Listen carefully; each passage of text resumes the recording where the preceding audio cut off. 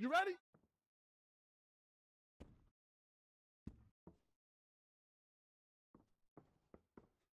You ready? Let's go fight. Hands high.